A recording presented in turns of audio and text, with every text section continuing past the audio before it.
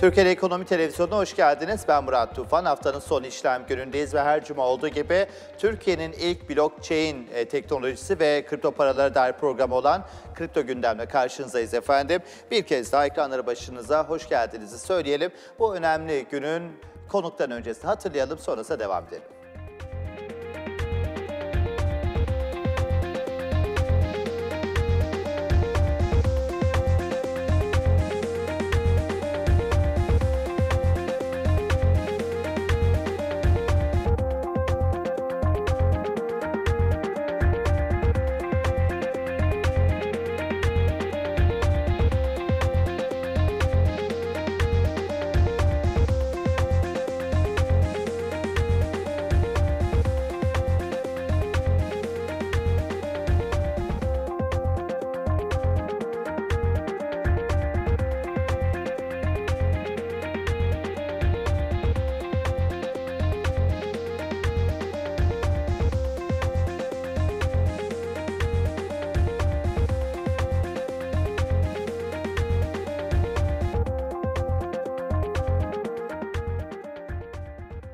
Konuklarımızı görmüş olduk. Bu hafta da çok önemli konuklarımız var. Geçtiğimiz haftadan itibaren dünyada artan jeopolitik tansiyonlar güvenli liman e, algısını güçlendirdi ve yatırımcıları hızlı bir şekilde ons altına, Japon yerine İsviçre frangına ve tabii ki kripto paralara yöneltmişti. ABD-İran arasındaki tansiyon geri çekilmiş oldu. Endekslerde rekor ve güvenli limanlardan da hızlı çıkışlar var. Hal böyleyken Bitcoin fiyatları da e, aslında o rekor seviyelerden 2020'nin en iyi seviyelerinden bir dönüşüme gitti ve şu anda da 7821 dolar seviyesinde ki dolar Türk lirasında da 5.97'li seviyelerden tekrardan 5.90 seviyesinin aşağısına doğru bir hareketlenme oldu. Böyle bir tabloda tabii ki Bitcoin'in Türk lirası cinsinden değeri de 45.929 Türk lirası. Litecoin'de 45 dolarlardayız. Ethereum'da 138 dolar ve Ripple'da 20 sente kadar geldi ki biliyorsunuz daha önce bu fiyatlama 19 sentlerde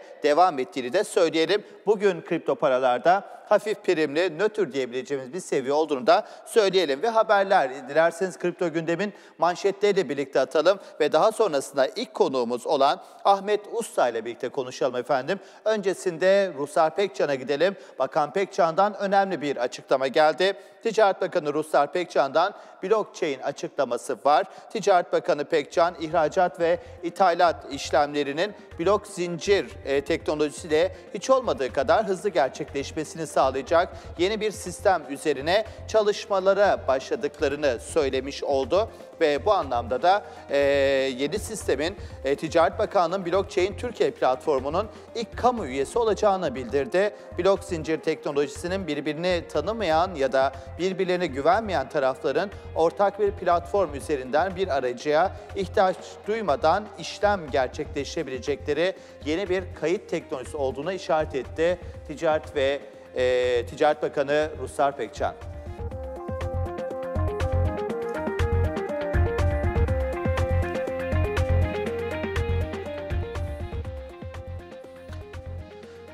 ABD Menkul Kıymetler ve Borsa Komisyonu SEC, Uygunluk Denetimleri ve İncelemeleri Ofisi bu yıl için önceliklerini açıkladı.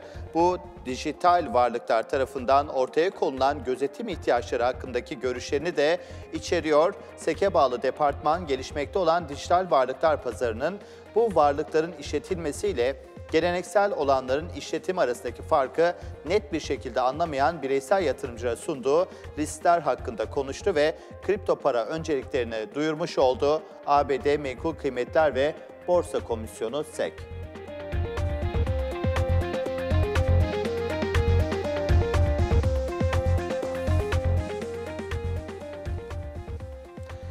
Bir diğer haberimiz Rusya'dan. Rusya'da devlete ait nükleer tesiste Bitcoin madenciliği yapılacağı duyuruldu. Bitcoin madenciliği gerektiği e, gerektirdiği inanılmaz enerji nedeniyle her zaman daha güçlü kaynaklara ihtiyaç duyulmasına neden oluyor. Özellikle Çin içerisindeki birçok madenci bu sebeple hidroelektrik santrallerinin yanına tesis kurma ve ucuz elektrikten faydalanmaya başladı. Buna bir diğer örnek de Rusya'dan gelmiş oldu.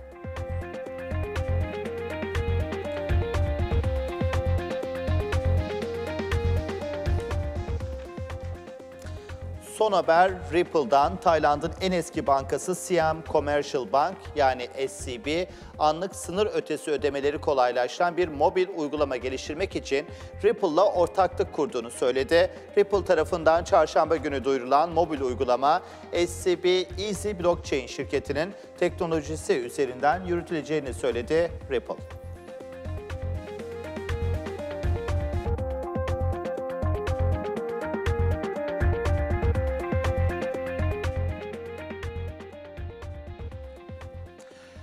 Ve kripto gündem devam ediyor. Haftanın son işlem günündeyiz. Her cuma olduğu gibi blockchain teknolojisi ve kripto paralara dair önemli bilgileri paylaşıyoruz. Bugün de yine çok değerli bir konuğum var. Geçtiğimiz haftalarda Milli Otomotiv den dolayı yayınımız düşmüştü biliyorsunuz. Kendisiyle de bir türlü konuşamadık. Ahmet Usta bizlerle birlikte. Hoş geldiniz Ahmet Bey. Hoş bulduk. Nasılsınız? Çok teşekkür ederim, iyiyim. Ee, geçtiğimiz hafta için kusura bakmayın ama siz de bu heyecan ortaktınız. Gayet e, milli otomotivimizi tanıtmıştık.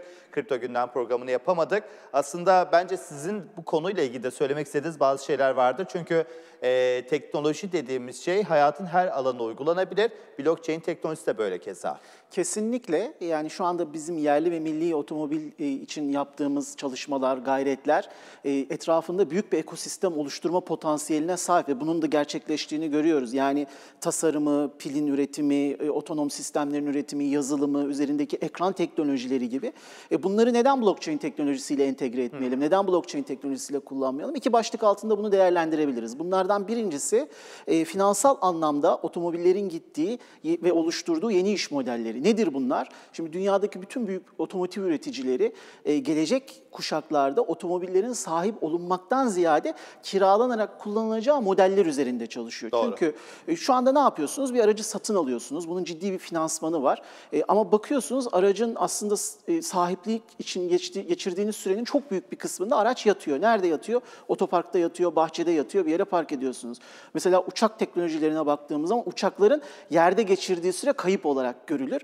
Otomobiller için de aynısı geçerli. O zaman şu soru ortaya çıkıyor. Neden nasıl otomobili daha fazla kullanılabilir hale getirebiliriz? Çözümü basit. Cep telefonunuzu açıyorsunuz. Benim bir araca ihtiyacım var diyorsunuz. Cep telefonundaki uygulaması diyor ki 20 metre ötede bir araç var. Gidiyorsunuz, biniyorsunuz. Anında otomatik olarak sizden bunun ödemesi alınıyor. Gideceğiniz yere gittikten sonra aracı bırakıyorsunuz. Bir başkası o aracı kullanmaya devam ediyor. Bunlara paylaşım ekonomisi, yeni ekonomiler adı veriliyor.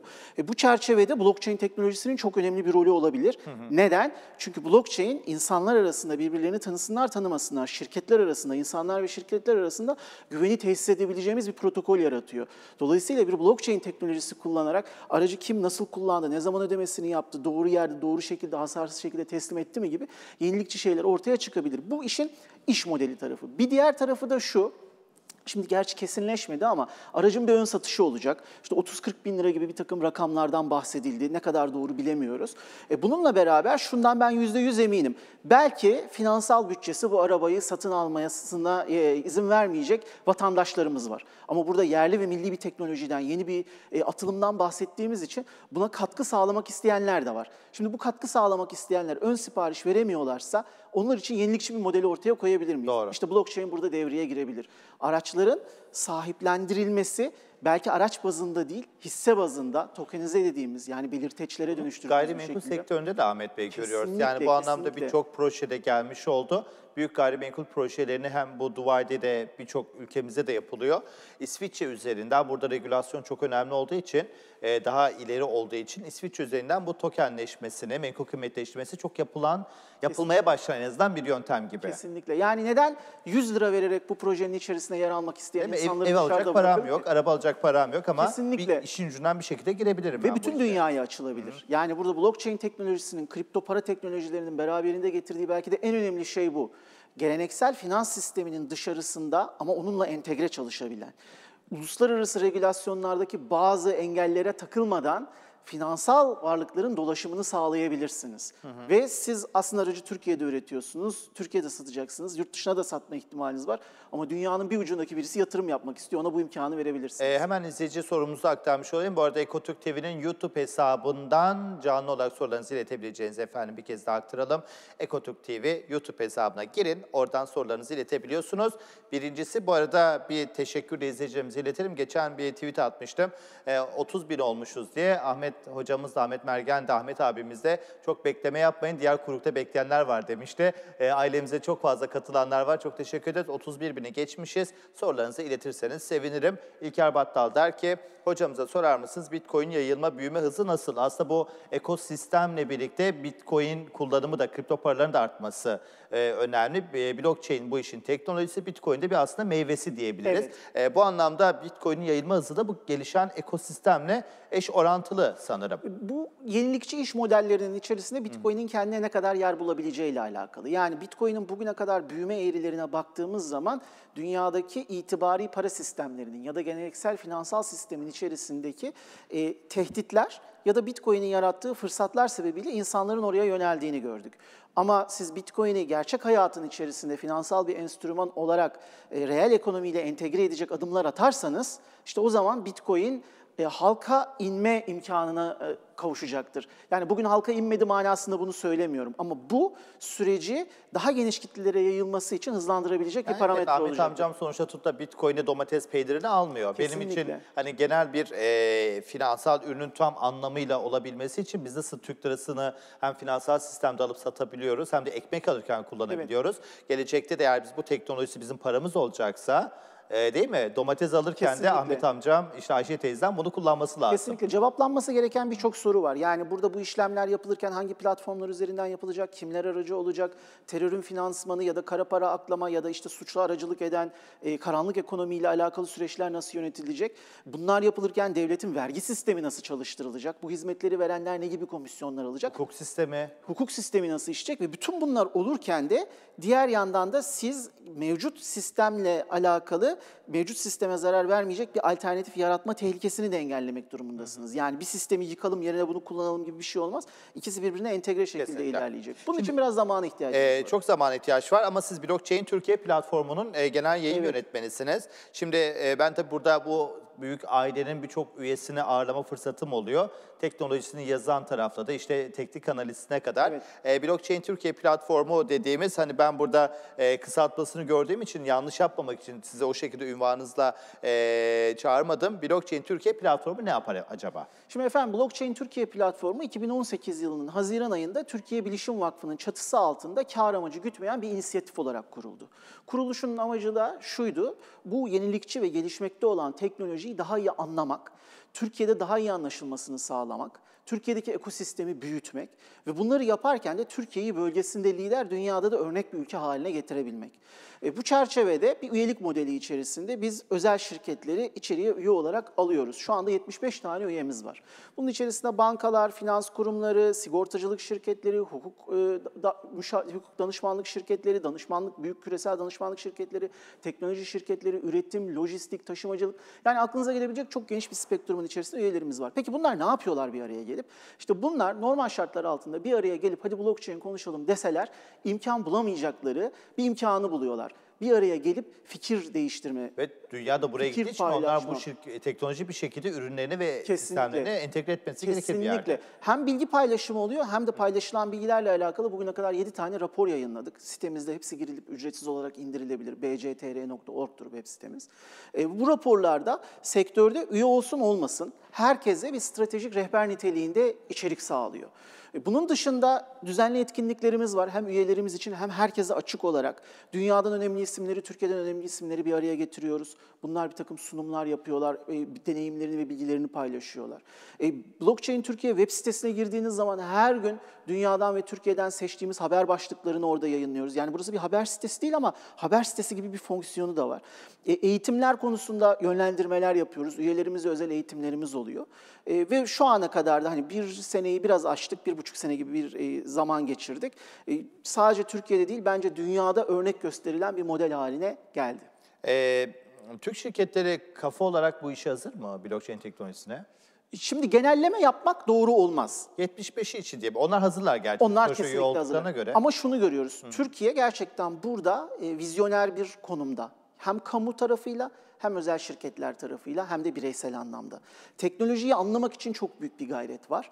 Teknolojiyi iç- içselleştirmek için bir gayret var ve bunu nasıl yapacağız sorusuna dair bir arayış var.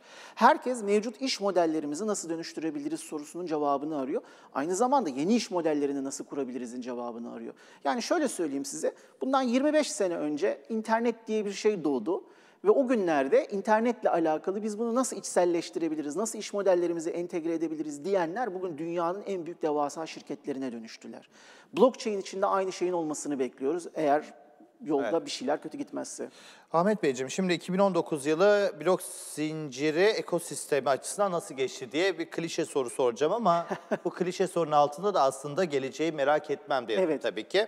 Çünkü 2019 enteresan bir seneydi. Global merkez bankalarının politikalarını sorguladığımız, acaba dünya resesyona mı gidiyor, ABD'de bir kriz çıkacak mı ve en önemlisi doları fazlasıyla sorguladığımız rezerv para olması gerekiyor mu yoksa işte masamızdaki Bitcoin logosu gibi bir Bitcoin gibi yeni bir dijital para merkezde olacak mı? Tabii blok zinciri de çok kullandık, konuştuk. Ee, verimli bir sene miydi?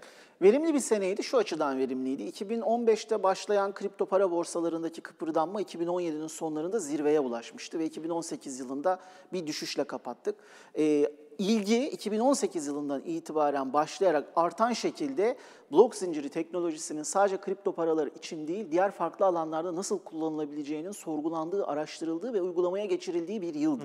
Geride bıraktığımız senede dünyanın çok farklı yerlerinde, çok farklı şirketlerin, konsorsiyumların, kamu kurumlarının bu teknolojiyi sahada uygulamak için adımlar attığı bir yıl oldu. 2020 bunların daha da arttığı bir sene olacak. Zaten e, isim vermeyeceğim ama büyük küresel danışmanlık şirketlerinin bundan 3-5 sene önce yaptığı öngörü de bu yöndeydi. Yani 2018 ve 2019 sahadaki uygulama denemelerinin arttığı, 2020'den sonra da yenilikçi iş modellerinin artık hem tüketiciyle hem de şirketler tarafından kullanılmaya başlandığı bir dönem olacaktı. Gerçekten de burada bir 12'den vuruş gördük. Şimdi 2017 senesine kadar inanılmaz bir trend oldu kripto paralarda. Yani bu fiyat performans açısından söylüyorum. Muhtemelen şu anda hem dünyada yatırımcı sayısı hem de işlem hacimleri çok 2017'ye göre oldukça ileri bir Evet. e, safhada ama e, çok cazibesi vardı. Herkes e, Bitcoin zengini olmayı ümit etti ya da kripto paralar diğer diğerlerinden. E, sonra bir türlü bu şey e, iştah kalmadı gibi. Değil mi? Şimdi Neden? iştahın kaynağı neydi? Önce buna bir bakmak Neydi? lazım. Ranttı tabii ki. Yani bugün işte e, altına yatırım yapalım, dövize yatırım yat- yapalım, metale yatırım yapalım, işte vadeli işlemler borsasına yatırım yapalım. E bir de bu da tarafta kripto para diye bir şey çıkmış. Böyle bir şey var ortada. Buraya Oluyor. paranızı koyuyorsunuz. evet. 3 ayda hiçbir şeyden kazanamayacağınız kadar bir kazanç vaat ediyor. Ve bundan zengin olmuş bir sürü insanlar var. Piyasanın deli olanı gibi. Yani yüzde bir anda yüzde on, yüzde yirmi Kesinlikle, gidiyor değil mi? kesinlikle. Bu bir hücum yarattı. Yani bu bilgisizce gerçekleşen bir hücumdu ve maalesef burada bu bilgisizce gerçekleşen hücumda insanlar büyük yatırımlar yaptılar ve bu büyük yatırımlardan zararlar ortaya çıktı. E, bu her kötü yaşanan şeyden çıkartılacak bir ders vardır. Piyasalarda artık biraz daha temkinli O hareketleri dönem çok beraberinde konuşuldu. Acaba bir balon mu, riskli bir varlık mı, e, emtia mı yoksa başka bir şey mi? Bir kafaya koyamadık ama dijital varlık olduğu kesin herkes herhalde Kesin. ortak mutabakatı bu. Kesinlikle. herhalde. Yani dönemsel olarak değerdeki artış bir balondu ama bu artışın temelindeki teknoloji kesinlikle bir balon değil. Bitcoin kesinlikle bir balon değil. Yani Bitcoin gerçekten dijital varlık ve işleyiş modeli olarak ortaya bir değer sunuyor. Mesela Me- e, Mehmet Bilir sorar ki, güzel bir soru Mehmet Bey çok teşekkür ederim.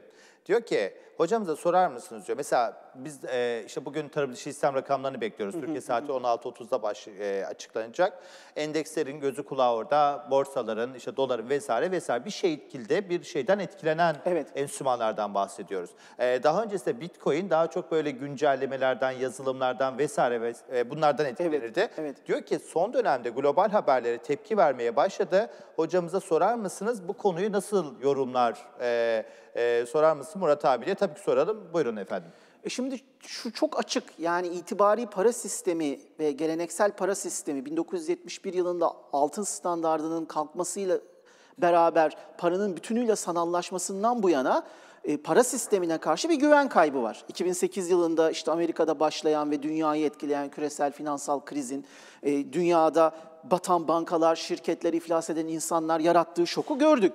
Ve şu çok açık ve üzücü bir durum ki bu işin başladığı kaynakta bunu engelleyecek, tekrarlanmasının önüne alacak bir takım yasal ya da düzenlemeye yönelik önlemler de yeterince alınmadı. Doğru. E, ve insanlar tereddüt içerisinde. Yani bugün elinizde bir döviz bulunduruyorsunuz. E, döviz neye göre bir değer var? Hani bir ticari bir altyapıya göre bir değer söylemiyoruz. Yani Aslında tamamen Beklentilere göre. Kesinlikle ve dolayısıyla beklentiler negatif olduğu zaman insanlar bunu e, yedeklemek için alternatif bir araç içerisine giriyorlar. Kripto paralar ortaya çıkana kadar bu altındı ya da işte daha fiziksel elle tutulabilir emlak gibi yapılardı. Ama bugün kripto para gerçeği içerisinde kripto para da seçenekler arasına girmiş oldu. Şimdi e, birazdan zaten sevgili e, Oytun sanırım bağlanacak ilk bölümde. Evet Oytun Ez. Ondan bir kripto para yorumu alıyor olacağım ama size şunu sormak isterim. İşte az önce Sayın Pekcan'ın açıklamalarını söyledik. Dijital ve blockchain teknolojisine dair olumlu konuşmuş oldu. Bugün Çin Merkez Bankası'nın dijital varlıklarla ilgili gayet olumlu açıklamaları var. Siz merkez bankalarının dijital para çalışmalarını nasıl okuyorsunuz? Hayra alamet mi, kontrol etmeye mi çalışıyorlar bu sistemi? Şimdi acaba? e, bir kere kesinlikle hayra alamet. Yani atılacak adımlar ne olursa olsun bu dünyanın gideceği yeni bir rota.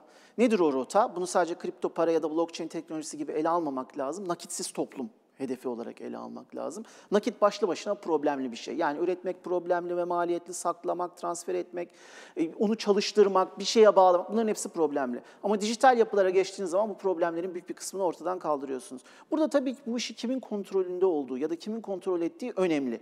E, bunu e, merkezi yapılar, Çin gibi ülkeler belki bir merkezi kontrol ya da tahakküm aracı gibi kullanabilirler. Ama varlıkların dijitalleşmesi dünyadaki tekil değerlere bağlı kalma prangasından dünya ülkelerini kurtaracaktır. Küresel ticaret için anlamlı bir adım olacaktır. Biliyorsunuz Türkiye Cumhuriyeti Merkez Bankası'nın da bu e, noktada bazı çalışmaları var.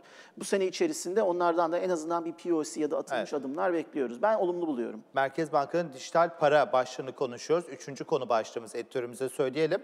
Ee, şimdi birazdan da Skype bağlantımız olacak. Peki sizce e, bu merkez bankalarının bu adımları önümüzdeki dönemde merkez bankalarının para politikalarının değişmesinde bir habercisi mi? Çünkü ne yapıyor merkez bankaları? Bir para basıyor finansal sisteme. Tabii ki bu e, cebimize giren bir para değil, finansal sistemde aktarılan para. QE dedikleri işte genişleyici para hamleleri var.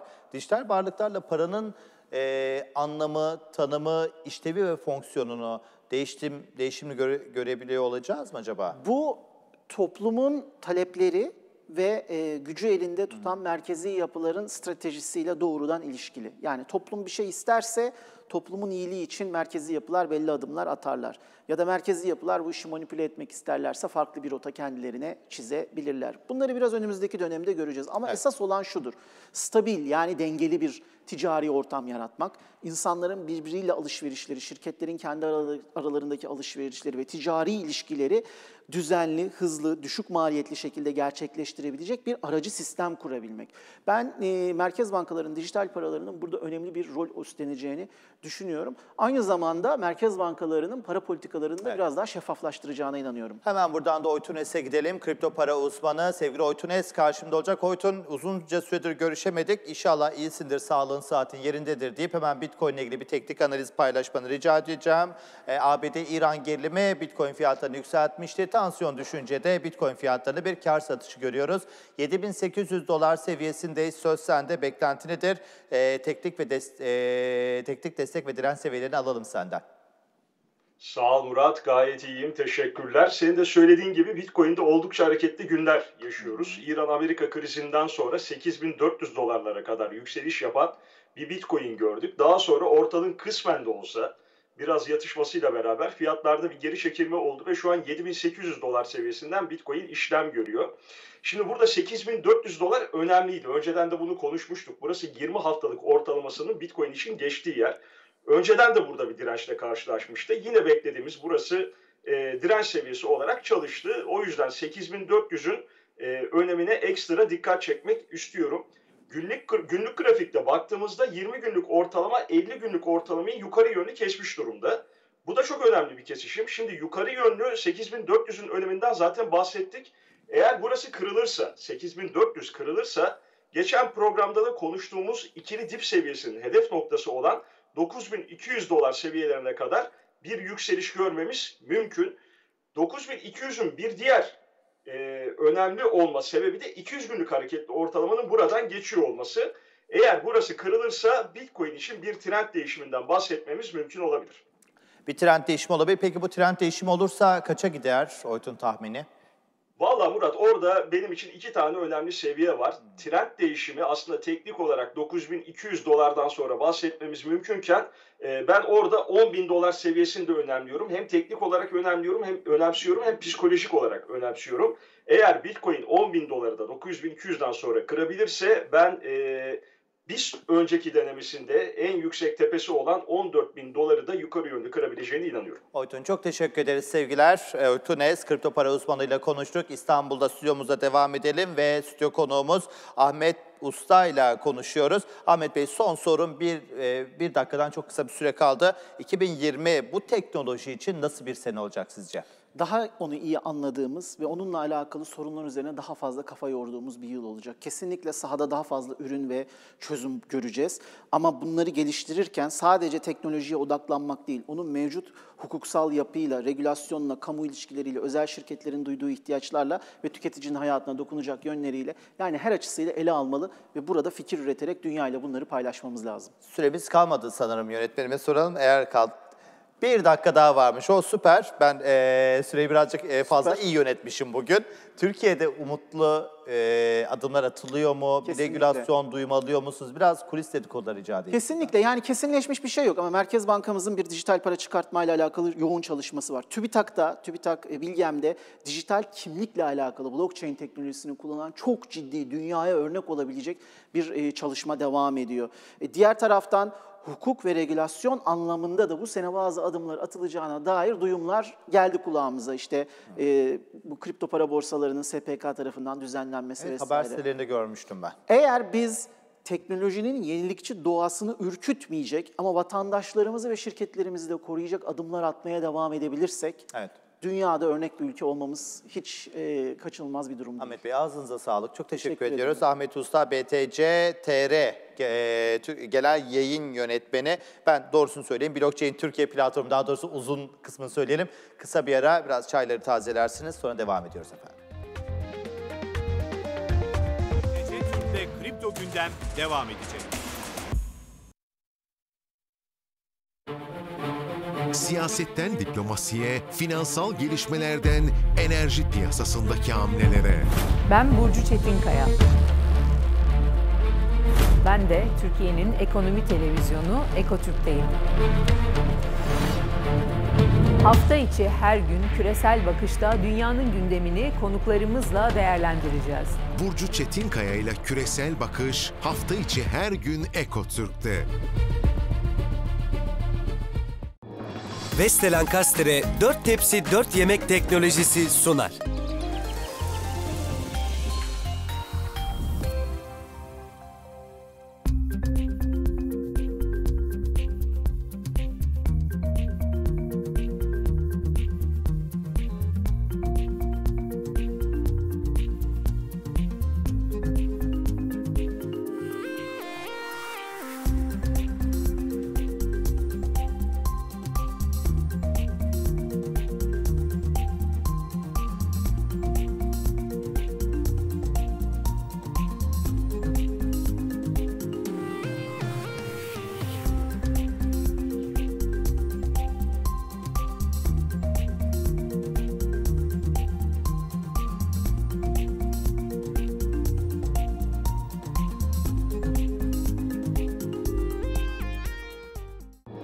Vestel Ankastre 4 tepsi 4 yemek teknolojisi sundu.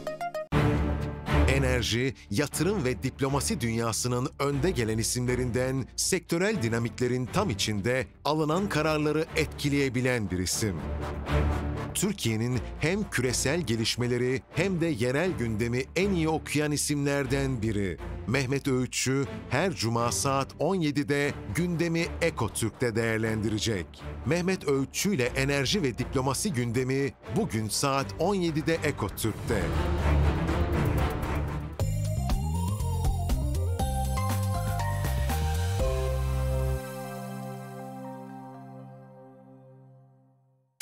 Her sabah uçarcasına geleceksiniz ofise. Tüm kapılar açılacak önünüzde Çağı yakalayacak, geçmek için çalışacaksınız. Doğanız gereği durmadan çalışacaksınız. Çalışmaya devam ettikçe tazeleneceksiniz. Keyif iş ortağınız olacak, çalışmaya doyamayacaksınız. Ayrıcalık dolu dünyasıyla Türkiye'nin en büyük ofis kompleksi Vadi İstanbul. Bu hayat işinize gelecek.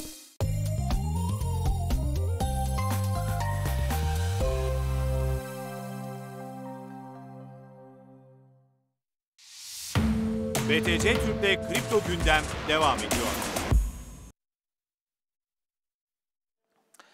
Kripto Gündem ikinci bölüm ikinci bölümle devam ediyor. İkinci bölümüyle devam ediyor diyelim ve reklam arasından sonra bu bölümde de Onur Gözüpek stüdyo konuğumuz kripto para danışmanı ile birlikte hem Bitcoin ve kripto paralardaki 2020 beklentileri bu bölümde konuşuyor olacağız. 2019 aslında yatırımcı açısından nasıl bir seneydi? Hem yatırımcı sayısı hem de talepler, regülasyon süreçleri ve tabii ki bir diğer taraftan da en fazla sorduğunuz konu olan ödül e, yarılamasını konuşacağız. İki, aynı zamanda Altu İşler de bize eşlik ediyor olacak programımızın ilerleyen dakikalarında bir kez daha ekranları başına. Hoş geldiniz. Onur Gözüpek sen de hoş geldin. Merhaba, hoş bulduk. Ee, şimdi son dönem volatilite yani oynaklık oldukça yükselmişti. ABD-İran gerilimi e, 8 bin doların üzerine kadar çıkardı. Artık biz e, güvenli varlıklarda çok net bir şekilde şunu rahatlıkla söyleyebiliyoruz. Altın gibi e, Bitcoin'de bir güvenli varlık sanırım. Evet, e, çünkü e, kripto paralar biraz daha erişilebilir hale geldi. E, insanlar artık kolayca Bitcoin alıp satabiliyor e, ve e, ani fiyat hareketlerinde e, bunu bir hani para kazanma aracı da görüyorlar aslına bakarsanız ve e, özellikle hani doların e, fiyat hareketlerinin çok e, baskısı altında olan ülkelerde kripto paralar e, insanların e, varlıklarının değerlerini korumak için de kullanılıyor. E, bu dönemlerde talep kripto paralara özellikle Bitcoin arttığı için talebin artması da fiyatın bir anda yükselmesine neden oluyor. Aslında bir yandan ürünün daha böyle kullanılabilir, fi- finans yatırımcıları açısından geniş bir yelpazeye e, serilebilmesi açısından çok çok önemli değil mi Onur Evet, bu? evet. Çünkü e, daha önce hep biz şunu seninle birlikte konuşuyorduk.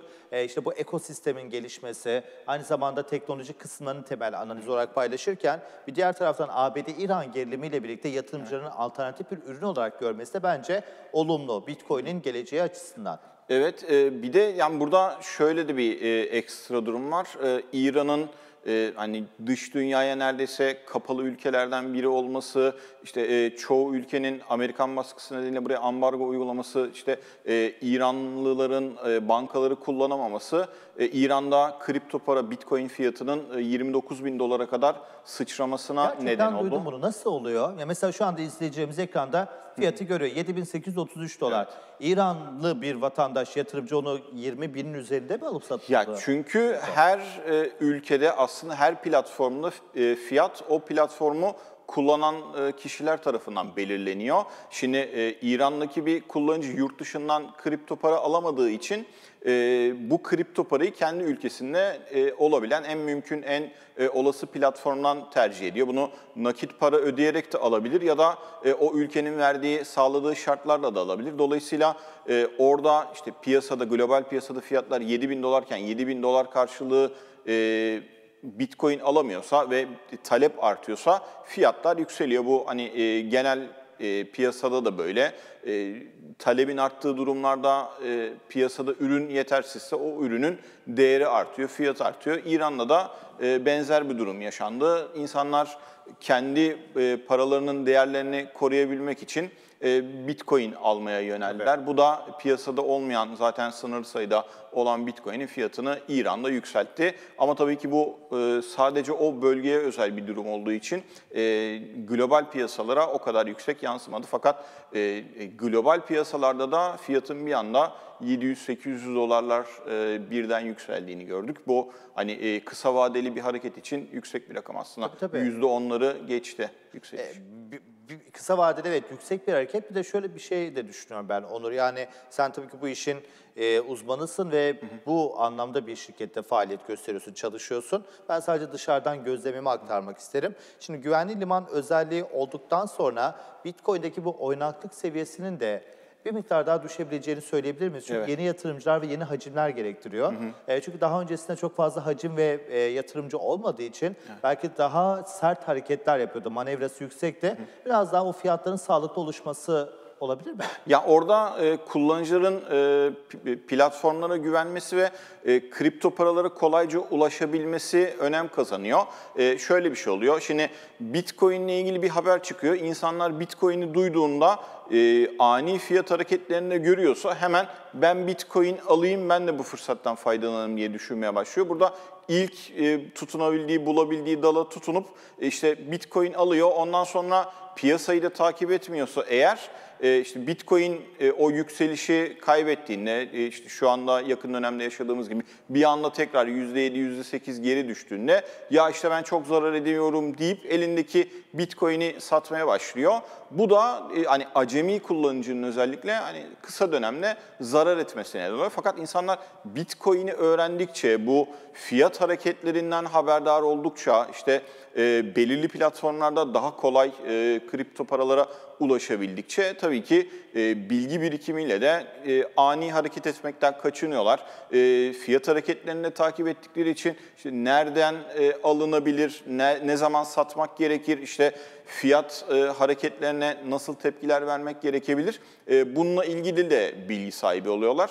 E, dediğiniz gibi işte e, ani hareketlerde Evet, kar e, oranı da artıyor. Çünkü volatilite yüksek olduğu için fiyat bir anda %3, %5'lerden %10 artışlara kadar çıkabiliyor. Bu özellikle bu piyasaya yeni girenler için e, çok büyük karlar demek aslına bakarsanız. Ama e, insanlar tecrübe kazandıkça kar oranını düşürüp e, bunun sürekliliğini sağlamaya çalışıyorlar. İşte bunun bir örneği sürekli işte be- belli dönemlerde Bitcoin alıp saklamak biz bunlara holder diyoruz. İşte ya da belli dönemlerde alıp fiyat yükselince satıp kar realizasyonu e, diyoruz. E, benzer hareketleri kullanıcının kendi beklentisi, e, kendi e, risk durumuna göre e, kullanıcılar işlem yapıyor.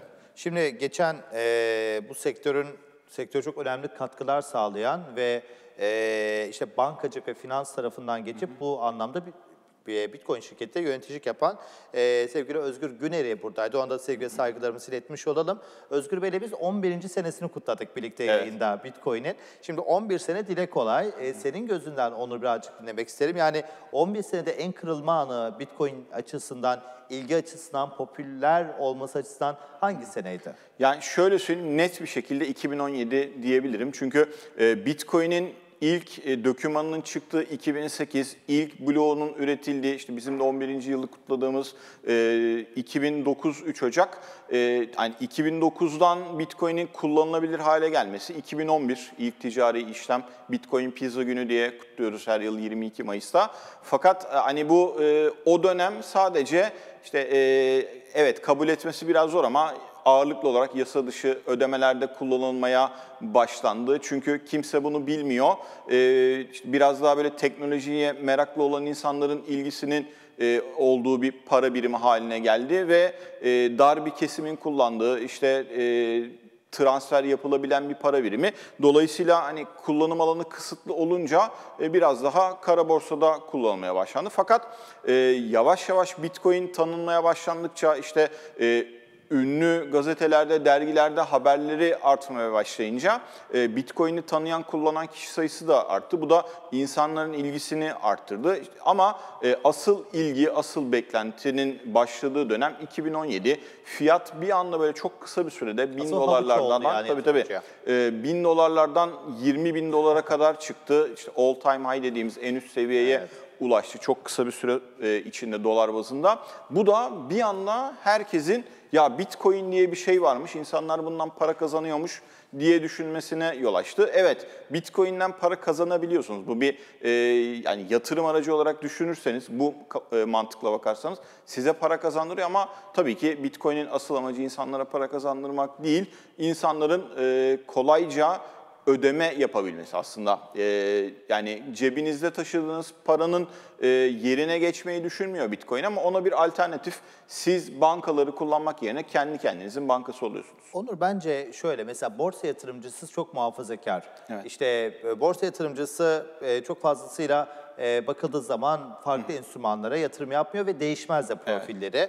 İşte e, kaldıraçlı piyasalarda işlem yapanlar forex yaparken, FX yaparken işte VWAP'ta da işlem yapabiliyor ya da Amerikan vadelilerde. E, ama yatırımcı kitlelerini ben çok iyi anlayabilirim. Çünkü bir şekilde o adam trader'dır ya da evinde otururken sürekli olarak bu işlem yapmayı seven kişilerdir. Ama Bitcoin yatırımcısı çok farklı mesleklerde olan insanları ben Kesinlikle. görüyorum. Mesela bu yayına girerken de sosyal medyacımız dedi ki işte ben de Bitcoin'im var dedi. O yüzden bu kripto gündemi paylaşımı çok seviyorum dedi. Yani e, sosyal medya yapabiliyor ya da kadın erkek hiç fark etmiyor. Popülasyon çok dengeli. E, sanırım bu, bu farklı bir ürün. Evet e, ya insanlar buna zaten başlangıçta bir hobi gibi başlıyor. Ya ya ne bileyim bir arkadaşından duyuyor, bir tanıdığından duyuyor, bir iş arkadaşından duyuyor. İşte Bitcoin diye bir şey varmışla e, başlıyor bu e, ilk kulak aşinalığı. Ondan sonra ya evet ben bu işten para kazanabiliyorum. İşte bir üst kademesi ya dur ben işte belli dönemlerde alayım bir ne bileyim bir 100 liralık alayım kenara koyayım diyorlar. Ondan sonra ya işte aldık ama bunun fiyatı artıyor.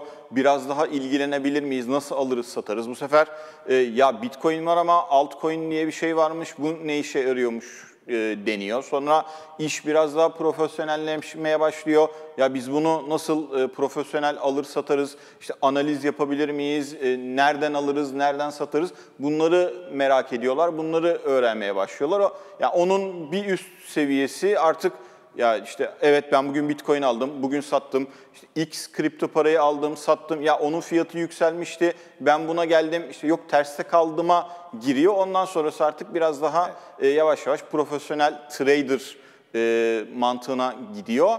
E, fakat işte bu hani kripto para alım satım işiyle uğraşmak sadece şey değil. Böyle e, hobi olarak yapılabilecek bir şey değil. Ya bu işi gerçekten doğru öğrenip işte analiz yapıp ona göre e, alım satım yapmak lazım. Düzenli alım satım yapacaksanız ya da e, kendiniz bir risk analizi yapıp e, belli dönemlerde alabilirsiniz. İşte fiyat yükseldikçe satabilirsiniz, kar edebilirsiniz. İşte düştükçe o ettiğiniz karları geri sistemin içine sokup e, daha yükseldiği zaman daha fazla e, ya da ne bileyim kripto paranızı arttırabilirsiniz. Burada sa- tamamen e, kullanıcının kendi beklentisi, Evet. e, kendi risk durumu öne çıkıyor. E, Birçok analistten ve uzmandan da kripto e, Bitcoin'inize sahip çıkın uyarısı Kesinlikle. geliyor. Hani al sattan ziyade geleceğin e, büyük bir değeri olacağını savunanlar var. Çünkü bu bir aslında sınırlı üretim. Hani bir yerde özel bir ürün olur. Mesela Japonya'da biliyorsun öyle ürünler çok çıkar. Ünlü kahve markaları sadece belli sayıda e, bunları yaparlar. Ya da bazı işte e, gıda ürünleri, gıda fiyat e, noktalarında.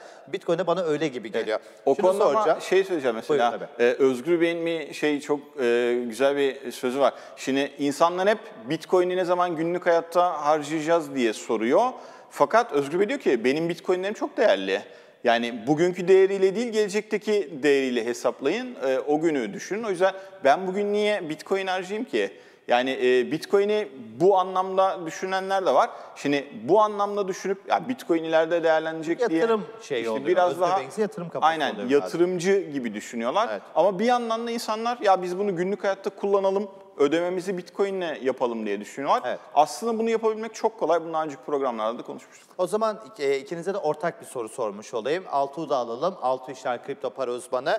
E, Altuğ e, hoş geldin yayınımıza. E, şimdi e, o, e, tabii Onur Gözüpek'le konuşuyoruz. Onur'a da aynı soruyu yönelteceğim. Vakti iyi yönetmek için ortak tek soru tek cevap gibi gidelim birlikte. Kripto paralarda 2020 beklentileri Bitcoin ile ilgili. E, sen 2020'de hiç konuşmadık. Nedir beklentin? Evet Murat, öncelikle çok teşekkür ederim. Özlemiştik seni de bayağıdır birlikte. Ben de Denk gelmiyorduk beraber.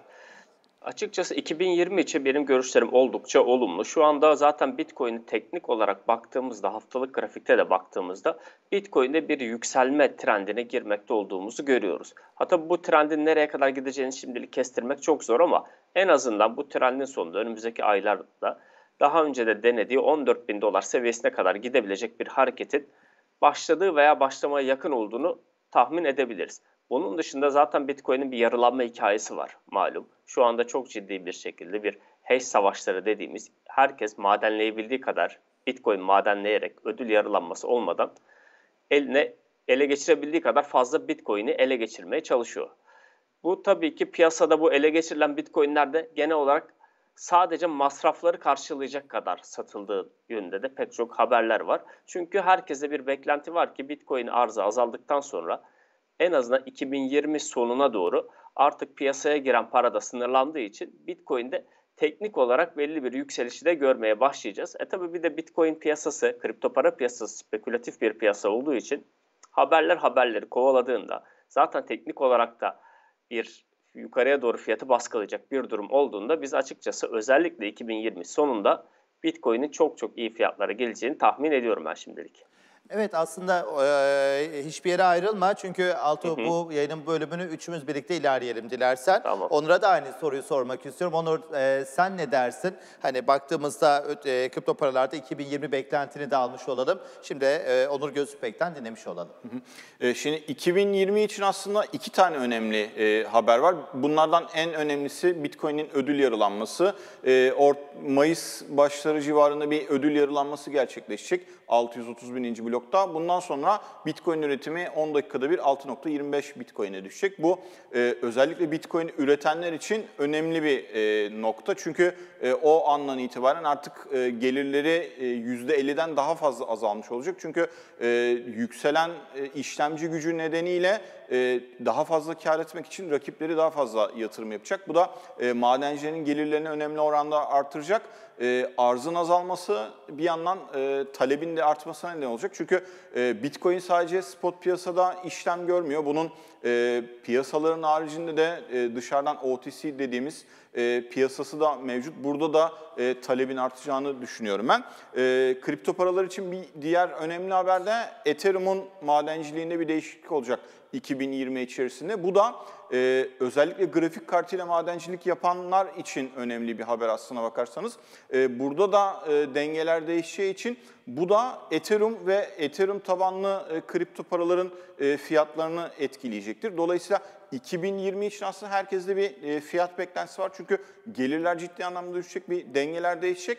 E, bu da e, çok e, piyasaya olumlu olarak yansıyacak. Mesela e, şimdi e, Altuğ da bizimle. E, Onur dedi ki herkesin bir beklentisi var. Altuğ senin beklentini alalım. Çünkü en fazla e, belirtilen seviye e, benim gördüğüm 7400 dolar seviyesi. Bir de aşağıda da 6500 dolarlar.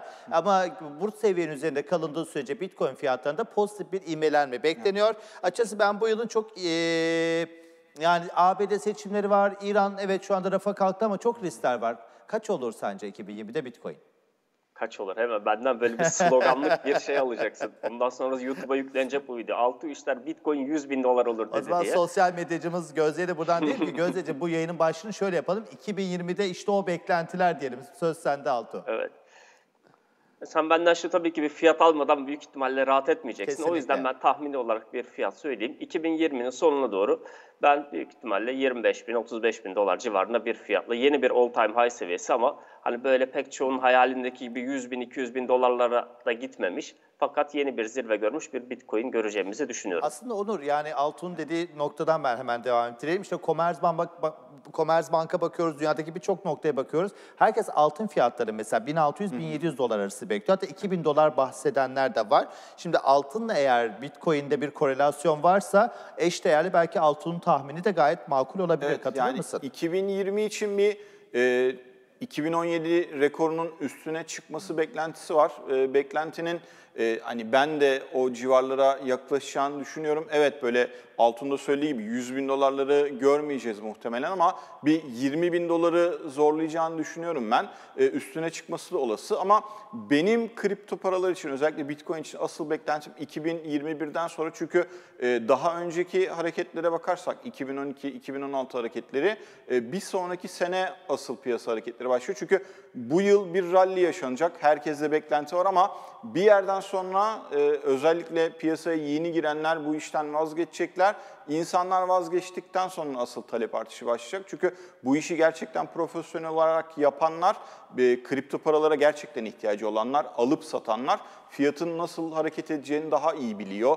ihtiyacın ne zaman artacağını daha iyi biliyor. İşte e, onun dışında e, ülkelerin borsalarının e, çeşitli hareketlerini takip edip e, oradaki karlarını kriptoya yönlendirenler, e, oradaki riskleri kriptoyla hedge etmek isteyenler de e, piyasanın içine giriyor. Çünkü e, geçtiğimiz yıllarda e, bu Amerika'da e, CFTC'nin onayladığı Bitcoin vadeli e, işlemleri vardı. E, geçen yıl onaylanan BACT platformu vardı. Bu vadeli işlemler de e, önümüzdeki dönemin aslında e, öne çıkan e, hareketleri olacak. olacak. E, özellikle kurumsal anlamda e, oralarda Bitcoin öne çıkacak. Şimdi bu ödül yarılaması olayı var ya Altuğ bahsediyorsun. Evet. Onur'dan da e, Onur Gözüpek de yanıtlayacak. Ödül yarılamasını hemen bir cümleyle e, senden alalım. Bu ödül yarılaması fiyatlamaları yani Bitcoin'e etki edecek mi sence fiyatlara ya da etti mi Tabii zaten? ki edecek. Yani zaten teknik çok teknik bir sebep. Sonuç olarak bu Bitcoin'e şu an piyasaya sürülen arz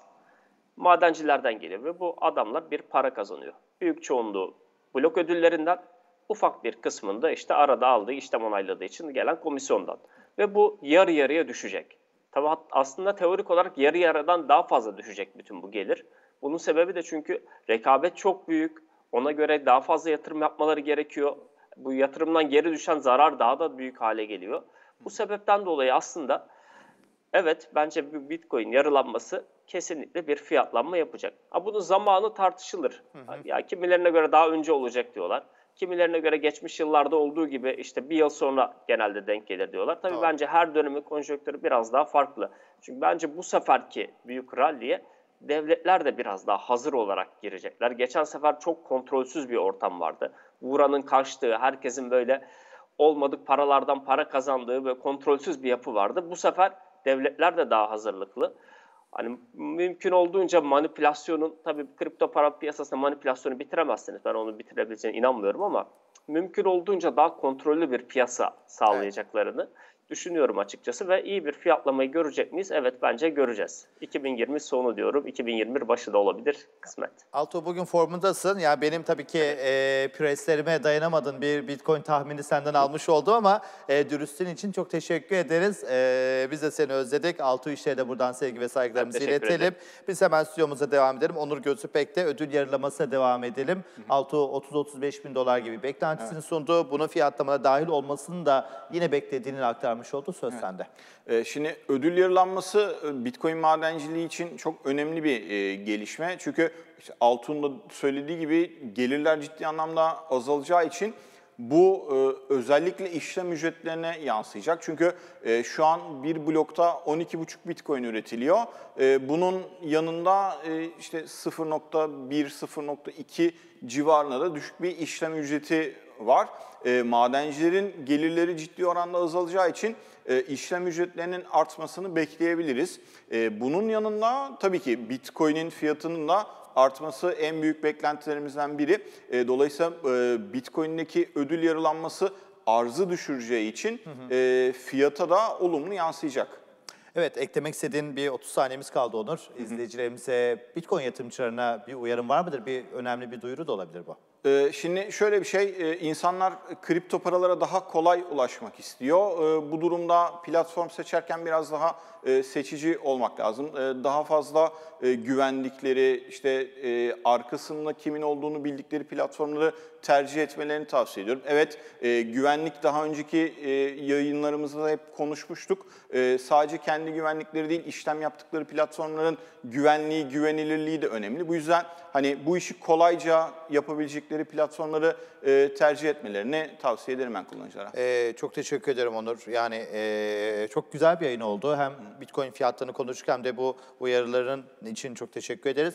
Onur Gözüpek kripto para danışmayla birlikte konuştuk efendim. Kripto gündemin de bu hafta maalesef sonuna geldik. Çok sevdiğim programımın e, sonuna geldiği zaman hep üzülüyorum ama e, seviniyorum da çünkü şu anda çok sevdiğim arkadaşım Burcu Çetinkaya'da olacak söz.